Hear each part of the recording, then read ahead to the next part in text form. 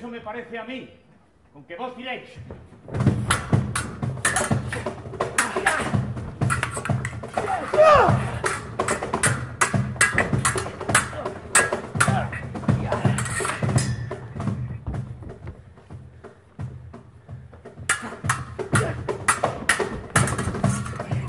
¡La de la muerte! ¡Trae aquí! ¡Besadla si puede!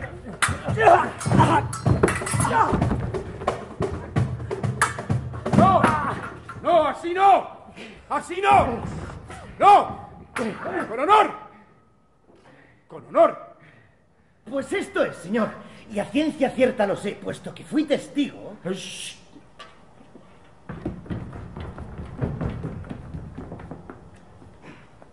Que vuestra hija Jarifa, de que no hallasteis tacha alguna en la vida. ¿En la vida?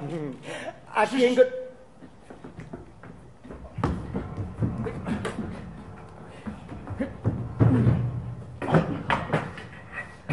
considerasteis tesoro escondido. Pecio en las profundidades. Casóse ayer noche en secreto con el moro Vindarraez. ¿Cómo? Eso, casándose. ¿Y en secreto dices? Y tanto, que no dijeron ni mu. Ah, y partieron a caballo a entregarse. ¿A entregarse? Eh, ¿Cómo es posible? Entregándose. ¿A quién? A un notable, ¿eh? Vamos, dime su nombre. Don Rodrigo de Narváez. Amor.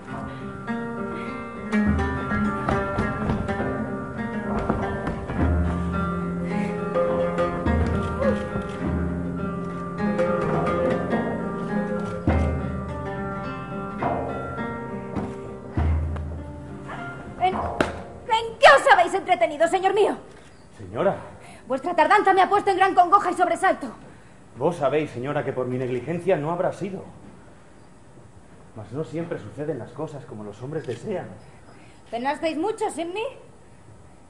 Estuve como en una mazmorra. Mentís. Creedme que no. Os creo. Y eso es porque yo lo pasé como sin luz, privada de las cosas. Apenas sin aire, casi sin voluntad.